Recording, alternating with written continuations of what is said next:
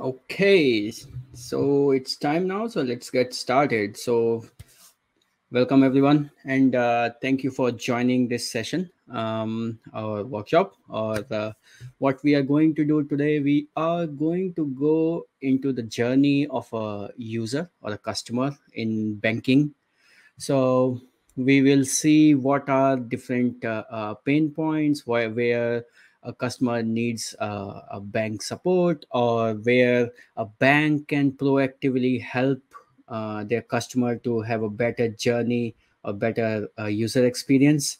And what technologies are available right now and what different things or different uh, uh, functionalities uh, are available what different products can do and how to think about a user journey and taking an outside in approach for solving any solution uh, rather than just uh, thinking about uh, uh making your applications uh, visible to outside world. You should be uh, thinking a little bit broader and thinking about um, how it is going to impact your customer. So before we get any further so let me introduce myself. Um, my name is harish kumar and I work as a solution architect at Google. So um, I have been in integration and API uh, ecosystem or working with APIs for over 10 years now. Um, I joined Google around three years ago. Since then, I have been working for uh, uh, Google Cloud and Apigee and helping customer uh, solve and implement API ecosystem, API strategy uh, in their uh, organization.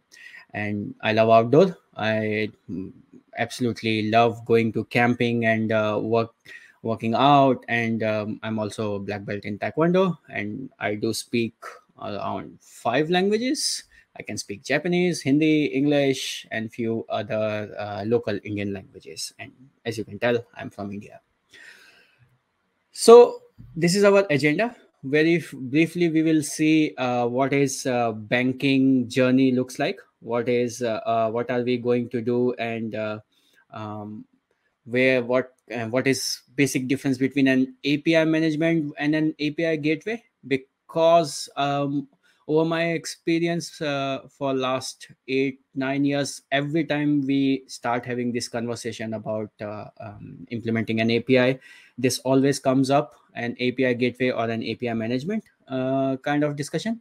So we will have a look uh, what, what's the difference between them and uh, we will see some real world successful cases and then uh, we will also see um, how you can manage those apis and what are the things you should consider even before selecting a product or an API management product and what all functionality it should provide out of the box and uh, what kind of freedom it should give you to solve and uh, control your API ecosystem.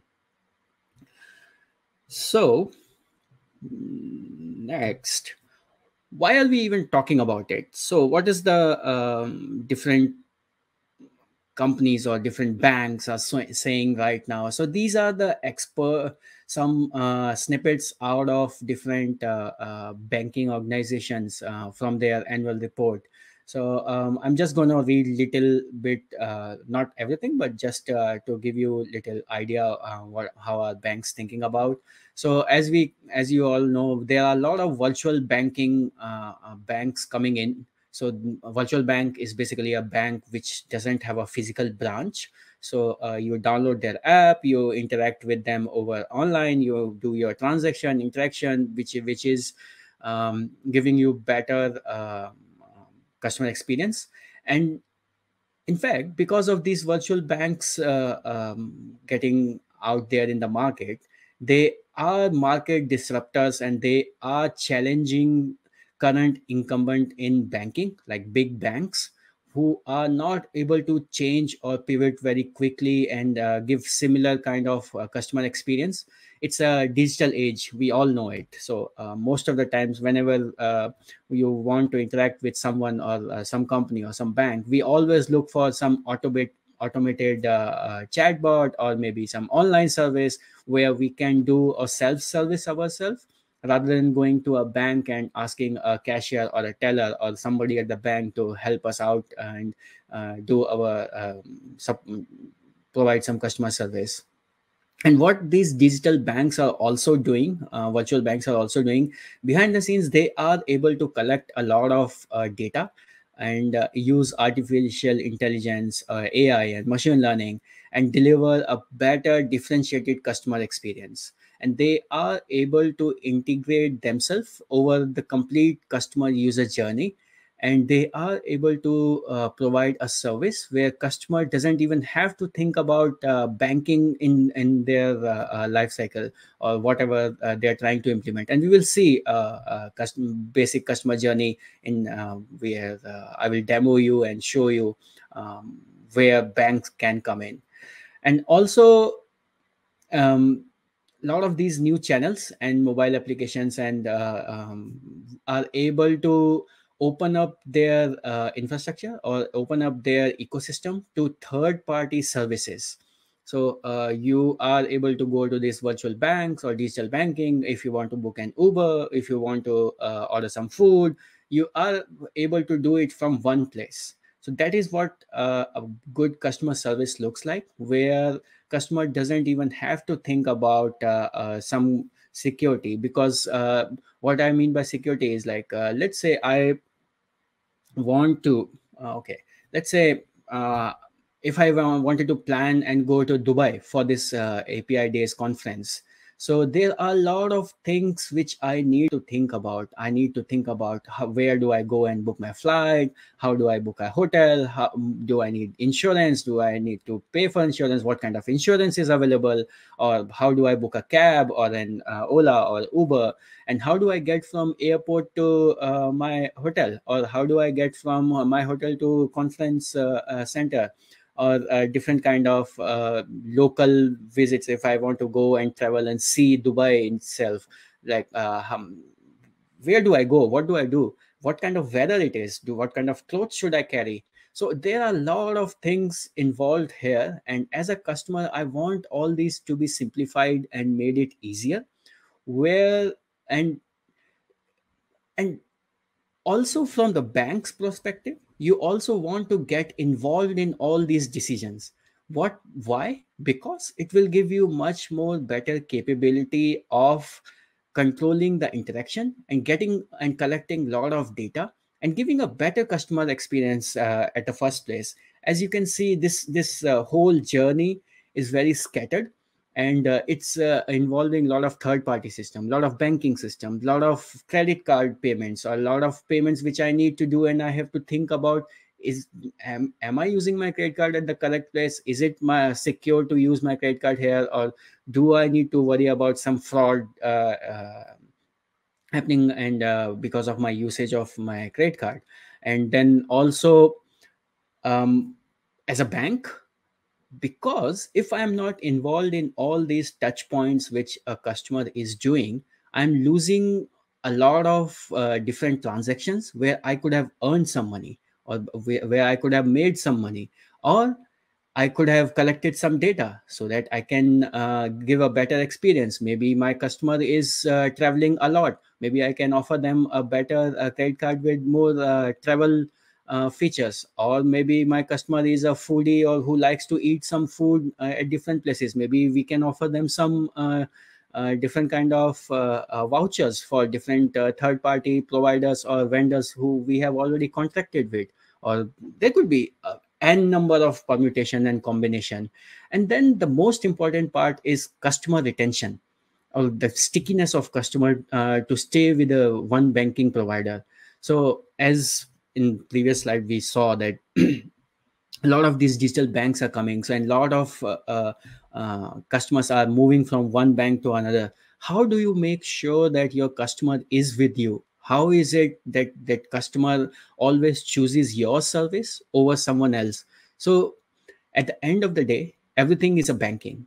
But what is the differentiator? The differentiator is the customer experience or how easy it is to interact with a bank how easy it is for me to use a credit card or uh, different banking uh, facilities which uh, my bank is providing.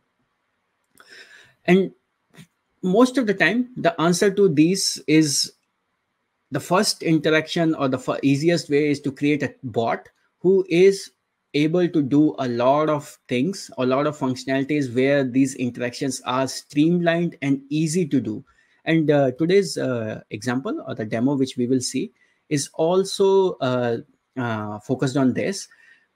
And uh, like a bot should be able to do some credit card transactions some op- open up a new fixed deposit account for me. If i want to apply for a loan that bot should be able to have my information and send it my application through. Or if i want to pay my bill my electricity bill my water bill it should be intelligent enough to do it or handle it for me or uh, also uh, suggest me some new suggestion that every month you are coming and asking the bot or the bank to pay. Uh, do you want a standing uh, outstanding uh, payment uh, statement which should automatically pay your bill? Or maybe if there was some unforeseen or a fraud detected on your credit card or on your banking it should be able to alert you. It should be able to give you option that you should be able to block it. So now we will see how all this can be done. Um, and um, it's easy to say that let's build a bot. Uh, so uh, that bot should be able to do all these things. Now uh, we um, we will see one example. And uh, there are a lot of technology behind this because you have to think about how this natural language processing will work how your speech to text will work because this bot this bot should be able to uh, understand what my customer is saying. Uh, if my customer is uh, typing to me or sending a message or is he directly speaking to me or um, all these things we will see and we will check and uh, we will work with and uh, the demo we will see here. So what i'm going to do i'm not able to share. Let me share my full screen. Just give me one second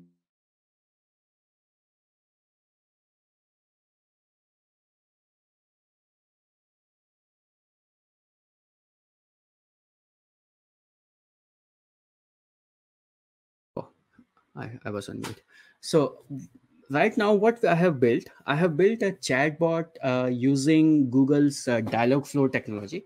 So I will show you what are the different technologies and uh, uh different products behind this. But first of all, let's let's uh, uh, try to run it and see what is possible with it.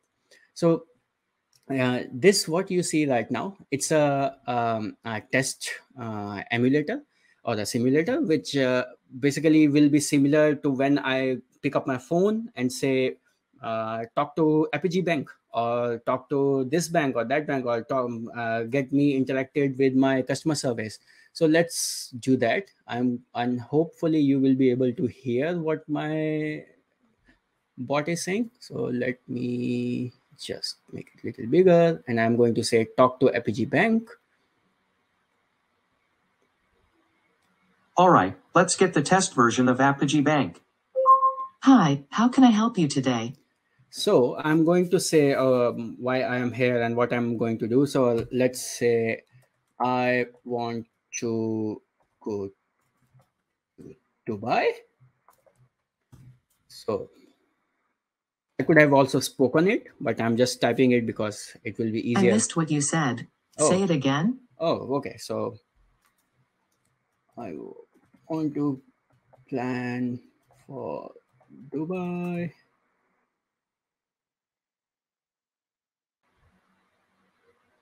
Before we proceed any further, in order to validate who you are, I'll just need to get your name from Google. Is that okay? So what's happening here is even before my bot uh, is going to interact with me or give me access to a different uh, secured system or application or services behind. It's going to authenticate and ask me that uh, do i can i get your information? Okay, are you able to authenticate yourself? If you're not so what it also means is you can have different uh, services sitting behind. Some can be open for any new customer new uh, who is coming and maybe trying to open an account. You do not want to uh, secure that behind an authenticated uh, resource or you can have an actual customer who wants to do some transaction. So all those you want to secure behind. So that is where uh, this uh, uh, different interactions can be controlled. So what i'm going to say is uh, yes. Hi Harish, welcome back. Where do you want to go? So now uh, it is able to uh, verify that I am uh, the correct customer, and uh, I now I am going to say that I want to go to Dubai. I want to plan for Dubai. So let's say that again. Hi Harish, welcome back. Oh, Where do you want to go? hmm, so demo gods are not with me.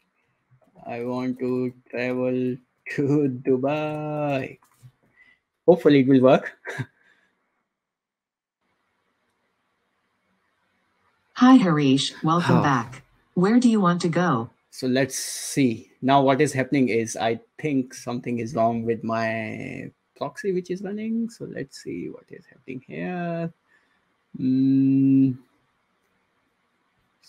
So this also gives me an opportunity uh, to see what is happening behind here uh, to my fulfillment. So any bot is useless if there is nothing uh, behind the scenes running and uh, accessing it or uh, giving it services which it can run and uh, talk to.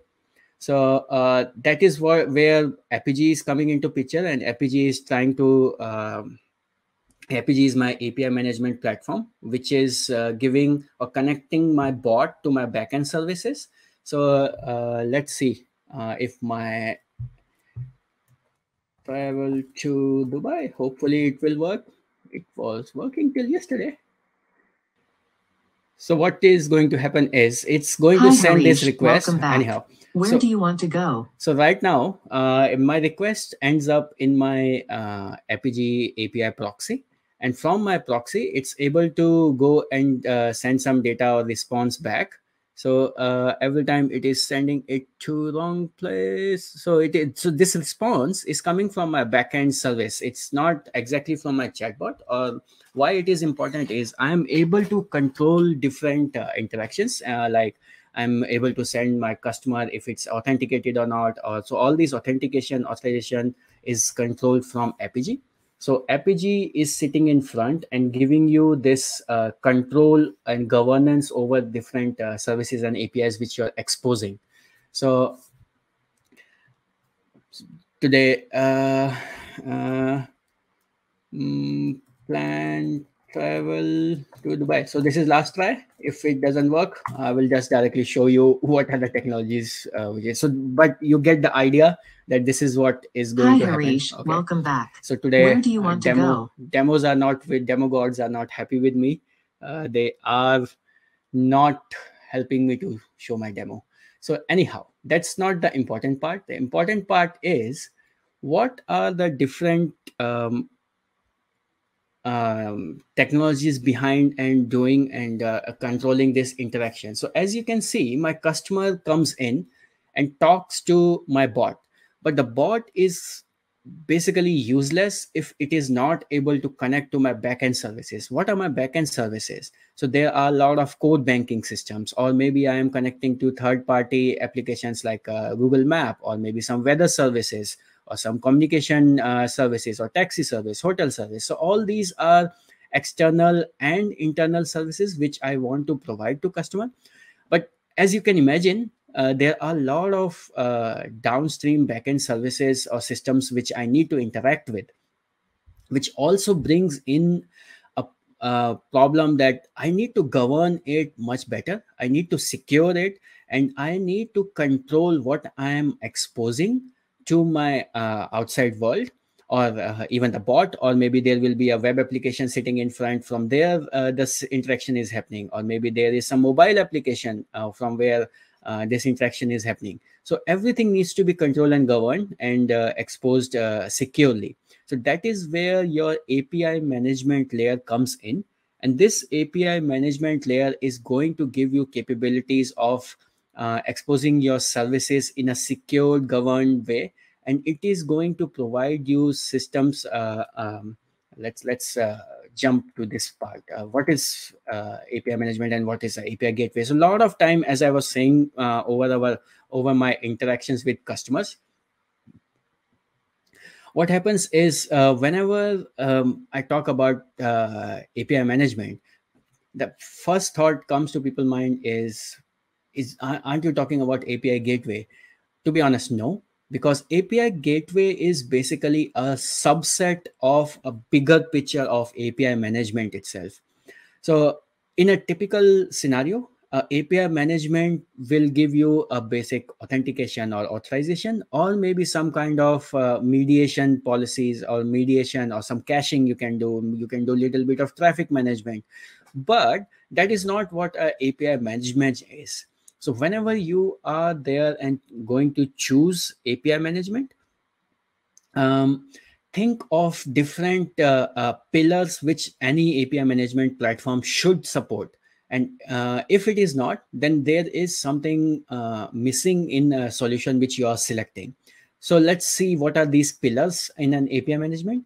The first thing is a developer management or the developer interaction which you want to control now what is a developer management is so whenever you're creating an api or whenever you are exposing an api the end goal or the end user for your API is not directly the end customer of your organization. What I mean by that, so let's say I am a bank customer. I'm using the uh, their mobile application or a chatbot, and I'm talking and interacting with this uh, uh application which uh, bank has provided.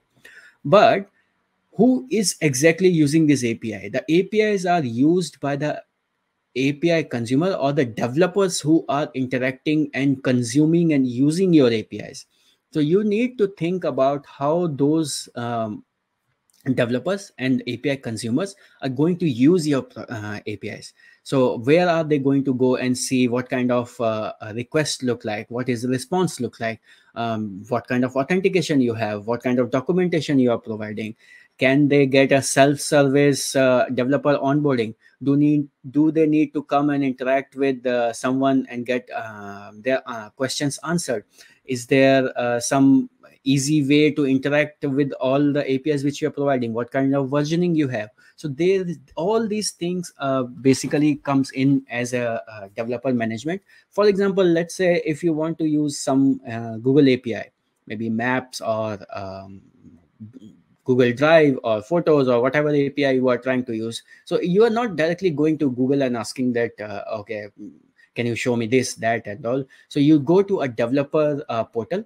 So where you see what kind of uh, request is, what his response is. So that is where, and then if you want to use it, you want to try it, just see, send a sample request to a sandboxed environment so that all these uh, uh, life cycle of a developer management is basic necessity of an api management platform but it is not required in an api gateway now the next thing which is most important for an api management is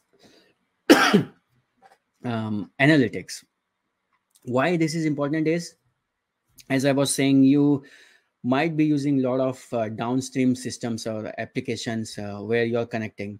Now you need to and you have to collect a lot of uh, analytics and um, you have to uh, collect a lot of metrics so that you know what is your apis are doing. Is anybody even using your api or have you released some api which is just giving um, 404 not found error or some kind of uh, different uh, authentication error even though customer is sending or the api consumer is sending proper uh, authentication profile to your apis so all these uh, different uh, user end user analytics or tracing or diagnostics should be part of an api management platform. And it should make it easier so that if you are using some other system to correlate and to do this dashboarding, maybe you're using Grafana or Prometheus uh, as your central uh, system of analytics, it should give you capability to move all this information out of your API management layer and uh, give you option to build this uh, streamlined uh, dashboards and operational monitoring systems. And then when, when, while I'm talking about operation, any API management platform should also provide you option to automate things. You should not be sitting there and uh, uh, going to a console or the console which I was showing or like uh, this like you, know, you, should not be coming here and writing stuff here and uh, creating apis and proxies and you should not be doing your development here right? So it should be able to provide you capability of automating things uh, infrastructure level api level and uh, also management of your uh, apis what you're exposing what you don't want to expose if you want to create a new version. So everything should be controlled with that. And then um, the third or the fourth pillar which uh, is also important is for the api developers within your organization itself. As an api provider if uh, you should be able to get um, um, maybe id interaction or it should be able to connect to your id seamlessly and do uh, uh, provide you an emulator where you can run your proxies or your apis so that you can see how your apis are behaving. Now at the lower end here at the base uh, you can see some uh, um, functionalities. It is not I, I will go uh, as far as saying that it is not an 100% uh, mandatory but it is a necessity right now uh, for uh, any apis like you your api management platform should be able to provide you OWASP threat protection or maybe ddos protection or a waf layer in front of your apis and uh, give you AI ML capabilities so that it can learn from the traffic which is coming in and control and uh, alert you if something wrong is going on. And rather than uh, going and uh, like reactively controlling or uh, protecting it should be actively protecting your uh, apis ecosystem. And then you should be able to take your API management uh, to wherever your uh, backend services are running. What it means is it should there should be a capability of doing hybrid deployment. So what this means, oops, what this means is um, if you are running your backend services in a public cloud, your API management should be able to run there. Uh, if you want to run it as a SaaS service, it should be able to run it as a SaaS service. Or if you have some um, um, data residency uh, requirements or if you cannot take data out of your data centers so your api management layer should be able to run it on premise near to your uh, federated uh, uh, uh ecosystem of uh, backend services. Or if i want to run it as a private cloud i should be able to run it as a private cloud. So this is these are few functionalities which are absolutely required within an, an api management layer so now let's let's go and see what are uh, few examples of uh, when I was talking about this uh, uh API layer or the Dialogflow interaction which is happening. So I very quickly want to show you uh, what are uh, what, how I built it. It didn't run, but it was running till yesterday. That's a typical uh, demo answer which i can give.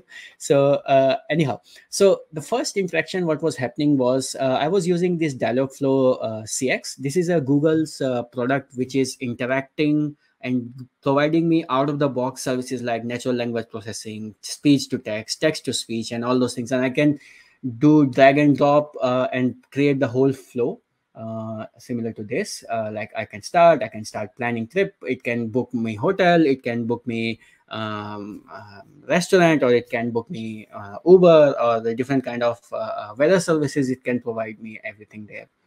Now then as i was saying i have connected it to my backend services.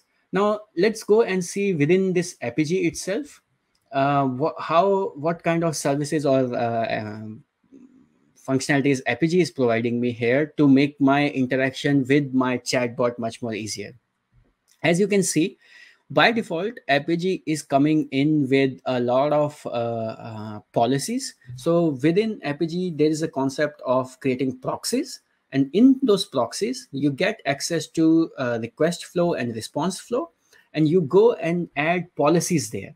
So these are the policies which are uh, atomic unit of uh, uh, implementation which you do.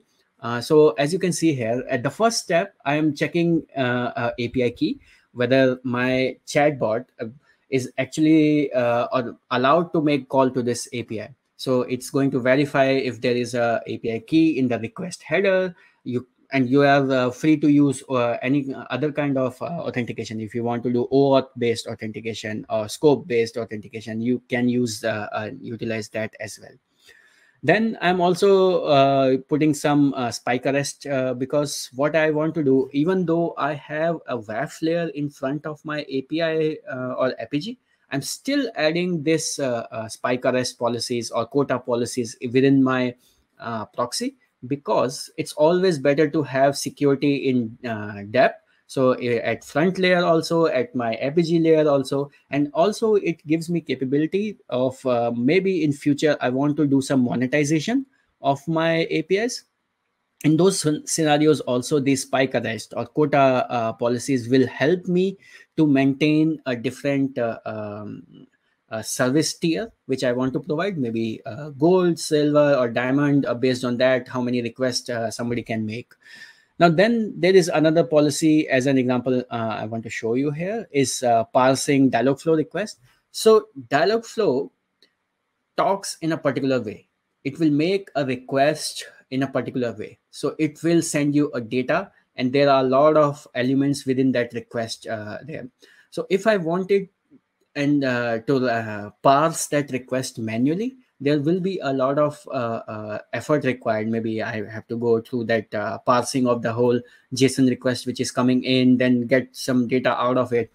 But as you can see, what Apigee is doing here is it is providing me an out-of-box policy, which will give me access to all the elements within that uh, uh, request itself. And then I can do different stuff like uh, add users, do some um, um, interaction to uh, any other services, maybe do some service call out, do some orchestration or hub spoke kind of implementation, and then uh, some imp implement my business logic. And then I can very simply use another policy, which is just sending my response back to um, uh, the caller or the Dialogflow uh, in a particular format with, in which it expects it. So as you can see, it is providing a lot of, uh, Apigee is providing a lot of different policies. And just as an example, I want to show you, there are a lot of them. Uh, out of the box, we support uh, uh, traffic management or security, uh, OAuth, uh, JWT tokens, or you want to pass JSON to XML. Maybe you want to expose some SOAP service which is behind, um, like legacy services, uh, which is behind uh, uh, Apigee. So Apigee can talk JSON to your caller and uh, in a SOAP format to your backend services. You can have monetization limit checks and then um, if in a scenario where uh, some kind of policy is not enough for you you are able to create some extensions you can write some java um, um, uh, code or you can write some javascript code or python or uh, uh different kind of uh, languages we support and if at all you don't like all that you can anytime go to uh, use Google's Cloud Functions, which is our serverless uh, implementation, and you can call Cloud Functions from Apigee itself. So within because Apigee is able to run within the scope of Google Cloud, it is able to connect to any services within Google Cloud uh, in a seamless uh, RFC 1918 uh, uh IP address space. Um, and from there, it is able to um, use service accounts or the identity which uh, uh, Google Cloud use to natively connect to different services within Google Cloud itself. So you have capability of doing that as well. And at the end, uh, I already showed parsing Dialogflow and setting Dialogflow response. So this is few things which you can do. Not only that, within Apigee itself, you have uh, capability of uh, creating developer programs like uh, creating um, um, uh, developer portals uh, where customer uh, your developers can come in and interact with you. Uh, you can have monetization. You can create portals here um, uh, for your apis you can bundle them in different products. So uh, we think of uh, apis as a bundled product where you can connect them and use them um, because you can have different proxies. So this is where thinking about outside in approach comes in because you may have different services which you have created as a proxy and a service. But think of how a caller or the api consumer is going to come in and call and make uh, because he might be coming from a mobile service or he may um, using um, as a, a, whole journey of uh, user interaction is happening with that. So um, you can create different products and where you can combine different proxies and control the scope of that proxy itself. Maybe you just want to uh, expose some read uh, uh, APIs on there should not be any post or uh, put or uh, anything else on delete. So you can control what kind of apis you are exposing. So let's go to this api bank product. So as you can see i am by default exposing everything. You can uh, control so let's me go and click here. If i add an operation so here you can see i can control the methods which i want to expose or the path within my um, proxy itself uh, which i want to expose. So you have a lot of freedom of uh, uh, using uh, this. Now uh, as we are coming to the end so i will go back to this. So now the main point is how do you get access to everything? And uh, is there some uh, free access available where you can go and try it out? So whatever i was doing so dialogflow also has some free uh, uh evaluation where you can go and try it out. And similar to that apigee also provides uh, uh, easy access eval environment where you can provision if you have a gcp project uh, with uh, if you go to google cloud and create a free account uh, google cloud will give you $300 of credit which you can use and uh, uh, to create an uh, apigee eval environment. So what it means basically is we will provide you a free apigee organization similar to this. It will be an eval environment. It will be valid for 60 days and you can uh, you can basically try uh, everything out. So you want to create a proxy you want to connect to some uh, google cloud uh, services or, uh, or if you want to try out integration. So integration is where we have this connector kind of uh, um, thinking where maybe you have salesforce running you want to connect to salesforce but you do not want to talk to salesforce in salesforce way right? So um, because it, it talks in um, different way. So um, we provide um, connectors for this. Let me show you one example. Uh, okay, let's see this. So connectors are the concept of an iPaaS solution. What it gives is it, this connector is directly going to connect to any service and it is going to abstract away necessity of talking and converting information uh, in, in uh, and what you can do you can just configure it give okay this is my endpoint or my salesforce uh, uh, domain this is my authentication profile use this information go and capture any cdc uh, change which is happening on salesforce. Or it could be your send this data to my sql server or uh, send this data to my pubsub uh, implementation. So uh, you can try this integration in google apigee's eval environment. You can activate it and see how these integrations also work and you will also be able to create uh, uh, portals or api products or uh, create some reports api monitoring. You want to see how your timeline is working what kind of metrics you can do. You can want to create some custom reports. You will be able to get some instances where apigee is running um, highly available within apigee scope also. Or uh, if you want to take it to multi-region you will be able to do those things uh, also and try it out. So and then if you're not a uh, fan of a ui based uh, uh, creation or uh, you want to get your hands dirty and do some command line provisioning or do some uh, terraform modules so we have uh, um, all the availability of different services which are available which you can use and utilize to build all these things and do a similar kind of implementation or a demo which i did which didn't work but essentially you can create something like this and try it out and uh, call your uh, apigee or api management platform and uh, interact with your backend services provide and send response back to your uh, dialogflow implementation or your chatbot. So um, yes i think i'm just going to give it a last try and see if it works. If it doesn't we will close the session let's see. So i am almost at the end. So i you okay. So let's give it a last try. Hopefully it will work. If it doesn't we are going to close the session right? Cool. All right. Getting the test version of apogee bank. Hi. How can i help you today? I want to go to Dubai. It's not able to understand me. Nice. Here Oh, are some options from. Google Flights, your usual booking site. Option 1, Onward, Emirates Airline on the 28th of June midnight, return on the 30th of June morning. Option 2, Onward, British Airlines on the 28th of June night, return on the 30th of June. So as you can see here, what it did, it went to my Apigee's API management uh, layer.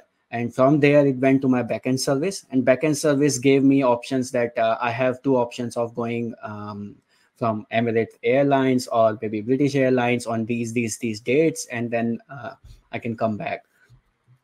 And then I'm going to see option, option one. Let's see if it books me. Option one. Can you say that again? Huh. First.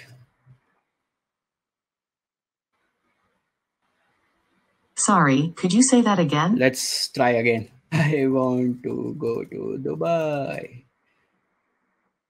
Please take me to Dubai. I think it knows that I am in, Nice. in UK right Here are now. some options from Google Flights, your usual booking site. Option 1, Onward, Emirates Airline on the 28th of June midnight, return on the 30th of June morning. Option 2, Onward, British Airlines on the 28th of June night, return on the 30th of June.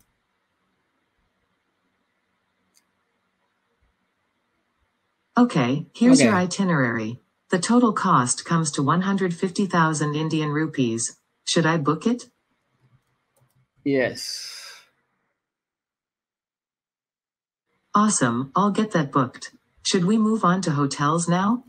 Okay. So here you can see that it is able to uh, detect that I'm going somewhere and I need uh, uh, flight booking, I need you hotel seem to booking. frequent Hyatt group of hotels. And it Do also- you want to book Grand Hyatt, Dubai from hotels.com?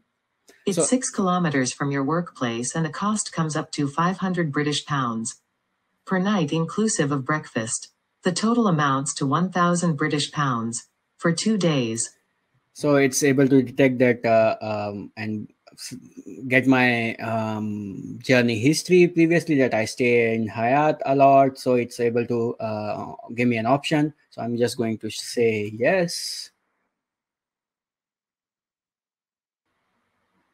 Done. Also, enjoy free refreshments on us when you arrive at the hotel. Okay, let's move on. Do you want me to schedule an Uber pickup for you to get to the Heathrow International Airport? so now uh, it's also suggesting me that uh, uh, first it gave me a free refreshment option because good customer service and it also provided me an option to uh, go from my home to heathrow airport so that i can take my flight i'm just going to say yes again and it's going to book an uh, uber pickup for Great. me Also, since you're a foodie, enjoy 20% off when you use your Apogee Bank card at Domino's Pizza and McDonald's at the airport departures area. Okay, now let's move on to the final step. We recommend that you take the Dubai Metro to get to the city. Do you want me to pre order an Dubai Metro Nol card so that you can pick it up? yes so as you can see uh, i'm not going to go through the whole thing Um, awesome, it's all done. I have sent you a mail with details about the whole trip. Finally, just before you go, make sure to pack some summer cloths as it might get hot in Dubai. Have a safe trip, and if you need any assistance, you know how to reach me. Bye.